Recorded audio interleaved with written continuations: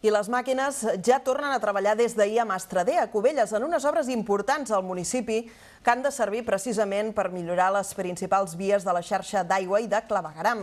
La creació d'una xarxa d'aigües pluvials per evitar inundacions en casos de pluja, a banda de la remodelació també de les voreres i l'asfaltatge dels principals carrers per tal de fer-los accessibles, però sobretot i en clau de sequera són importants per poder reduir les fuites d'aigua que pateix Cubelles. Els treballs s'havien aturat durant tres setmanes a causa de discrepàncies entre la constructora i l'Ajuntament sobre un increment de cost, segons l'empresa, perquè s'ha hagut d'excavar més roca del que estava previst i per l'aparició també de canalitzacions antigues no documentades. Finalment s'ha arribat a un acord i la intervenció costarà prop de 2 milions d'euros, una xifra que no supera el pressupost reservat per l'Ajuntament.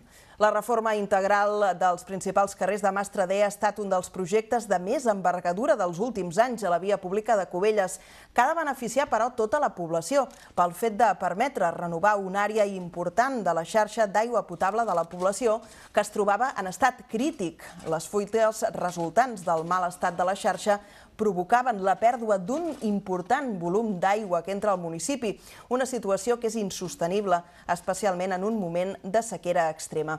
L'Ajuntament preveu finalitzar les obres aquest mes de març.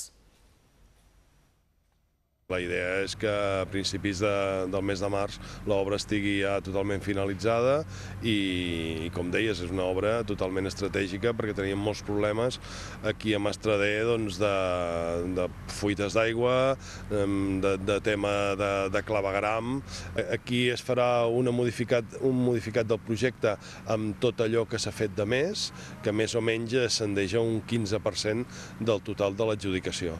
Canalitzacions eh, que no estaven definides en cap mm, plànol previ de, de l'obra, eh, que ens han obligat a fer a baixar més profunditat tot, tota la canalització de pluvials i de residuals.